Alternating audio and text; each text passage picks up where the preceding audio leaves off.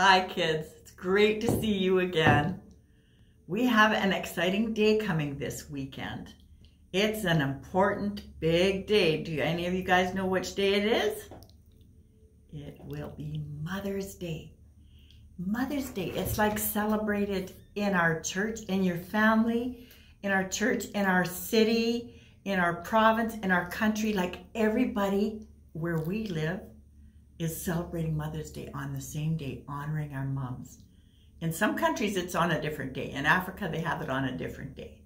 But in our part of the world, everybody is celebrating Mother's Day and thinking about how we could honor our mothers. How can we honor our mothers? Does anybody know what honor means?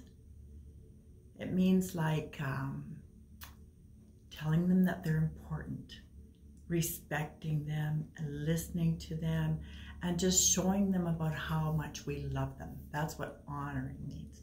And it's actually in the Bible that we should honor our mother and father. We're going to look that up a little bit later. I was wondering if you wanted to talk about some of the very favorite things about your mothers. Like what are some of the favorite things that they do or say? I can think of some of the favorite things that my mother does. I still have a mother alive. If I'm old, you would not believe how old my mother is. She is ancient. But I love some of the things she does. She's pretty forgetful and she just has to laugh at herself sometimes. And she laughs at people so much. Everybody in her whole building knows that this is the lady that knows how to laugh. She's so much fun. And the other thing that I love about my mother is her baking. Oh my goodness, she baked the best buns of all time. Oh, they were so good. One thing I didn't love about my mother is that she always made me clean the house and clean my room. I imagine that's the same about you guys, right? But that's what mother's jobs are. Our parents' jobs are, is to make sure that our house is clean and healthy, that we eat healthy stuff, so that's kind of part of their job. So on Mother's Day, it becomes our job to do stuff for them. Every other day they're doing stuff for us, right? So on Mother's Day, it's kind of like it's reversed. It's our turn to do it, jobs for them. So think about some of the things that you guys are going to do for your moms today. Like some kids make their moms breakfast. Some of the kids do dishes or bring their mom flowers, stuff like that. It'd be very cool for whatever you can do for your mom to, in this weekend coming up. And Krista's going to show us how to make a craft in a few minutes too, and something that we can do for Mother's Day. Just before we do the craft, let's look at some mothers in the Bible. Can you think of some of the mothers that were mentioned in the Bible? Hmm, the first mother that ever was. You remember the first people in the Bible in the first book called Genesis? The first mother ever, her name was Eve. Remember Adam and Eve?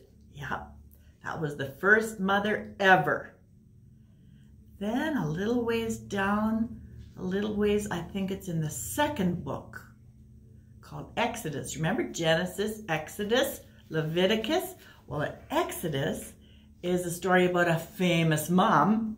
If you look for in your Bibles at the book of Exodus in the second chapter, so that's this, the big number two, then you're going to find the story of Moses, the baby in the basket.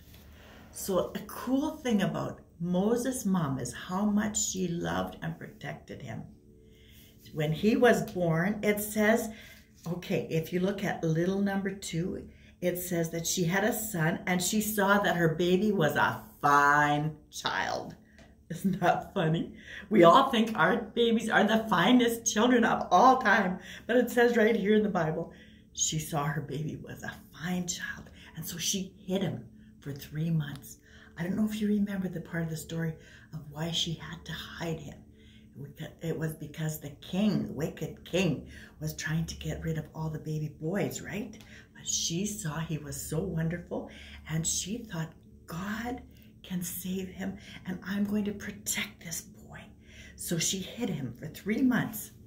when she couldn't hide him anymore because he was smiling and gurgling and chuckling and, and a happy baby, what did she do? She thought, what am I going to do? So she made a basket and it wasn't easy to make a basket. I was looking at this basket. Like it would take a long time. She must have had to work very hard to get all these pieces to go in and out. If you have a basket in your house, you should take a look at it. It would take a long time to make the basket for her little baby boy. And then it says she didn't just leave it like this because all the water would go straight through there, right? And she was going to hide him in the water. So how was she going to make it like a little boat? She painted the inside with some stuff, kind of like tar, kind of like the stuff they put on the roads because it's really waterproof. And then she painted it really, really good. And she put a little blankie in there. And then she put her baby in there and she put him in the water close to close to the edge of the shore and the little waves were just rocking him and rocking him and then she said to his big sister his big sister's name was miriam she said now you watch over the baby and i'm going to go and do some other stuff and you watch over him and what happened miriam was watching and protecting him too and then all of a sudden oh no here comes somebody and they're coming closer to the water and closer to the water and closer to the water. And Miriam was a little bit afraid. But what happened? It was a beautiful princess came down with her servants and they came to the edge of the water. And there they saw a basket. And the princess said, bring me that basket. And she looked inside the basket and there was the most fine little baby boy and she was the name, the person that named him. She pulled him out of the water and she said, I would like this baby boy to live. And she named him Moses. I thought it's kind of interesting that she was the one that named him. Miriam came running. She must have been very brave. Miriam came running and said, would you like somebody to help you look after that baby? I know somebody that could help look after him, kind of like a granny or kind of like a, um, a nanny could look after your baby. And the princess said, that would be lovely. And so Miriam ran and got the mom and the mom came and she got to raise her little boy and the princess even paid her for raising her baby. Can you imagine that? She got to be the mom and she got to do it like a job and she did looked after him so good and he became a big boy and he part of his life he lived in the palace but you can read the whole story of Moses in that book of Exodus. Today we're actually talking about moms. So let's go back and think about Moses' mom and how much she loved her baby and how she wanted to protect him and make him a little basket and do the very best for him.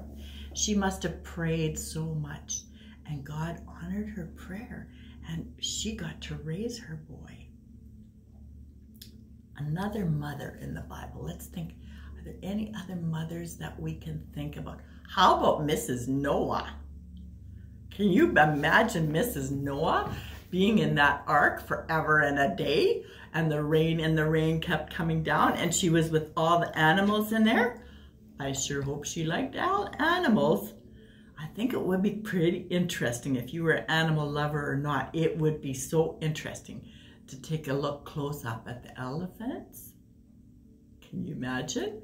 The lions, the tigers, the monkeys. She probably told them to behave themselves because they were getting into mischief. Monkeys get into mischief. One time when I was in Africa, I was sitting and having my coffee break and a monkey came out of the tree and it took my cup away from me.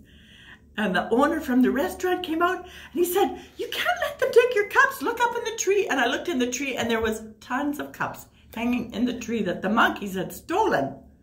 Now, can you imagine Mrs. Noah looking after the monkeys and every animal that was in that ark? I bet she had some fun times too, right? Let's think about another mother in the Bible. How about Jesus' mother? We know quite a bit about her. We know about when the angel came to see her. Do you remember the Christmas story? The angel came to see her and said, You're going to be a mom. And she said, How can it be? I don't even have a husband yet. And the angel said, But the Holy Spirit is going to come on you and you're going to become a mom. And she was an awesome lady. And she said, I will be God's servant. Whatever God wants me to do, that's what I will do. And Jesus' mom must have known some real heartache because of some of the things that happened to Jesus, right? And she loved him so much, protected him as much as she could until he was a grown up. So these are some of the mums and how much they in the Bible and how much they cared for their kids was just amazing. And how much your moms care about you is so amazing. So today you get to tell them how much you love them and appreciate and love the things that they do and some of the things that they say. They probably bake some of the best stuff for you guys too, right? So today you get to tell them about that. And today you get to make them a little gift. And Chris is going to show you how to do the craft. Okay, here's Krista. Thanks, Pastor Judi. So today Pastor Judi has put together a special treat for us. So she's going to email all your mom and dads this piece of paper. You can either print it on white and color it however you want to color it. You can be really colorful with it. Or you can print it on colored paper and cut it all out.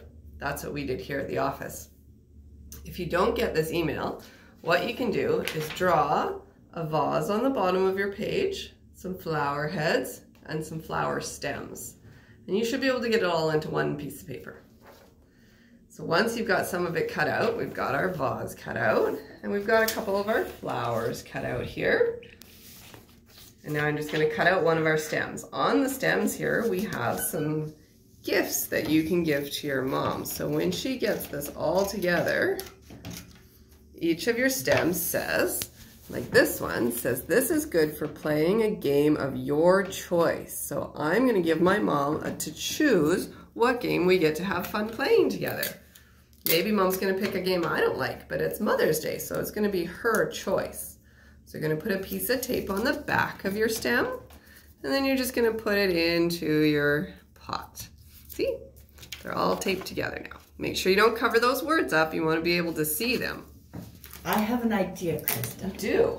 Okay. I think the idea would be if you need help with this craft, you should ask your daddy to help Yeah, you. that'd So be that it- great. yeah, so it could stay a surprise for your mom, don't yeah. you think? I think that's a great idea, Okay. Master Judi. Yeah. And then I'm putting my flowers on the top. Looks like a tulip. Yep. Cool. Then you have some flowers in a flower pot. And when you're all done, you can take a blank piece of paper and you can tape it all together if you'd like. And then you can do some extra coloring for your mom.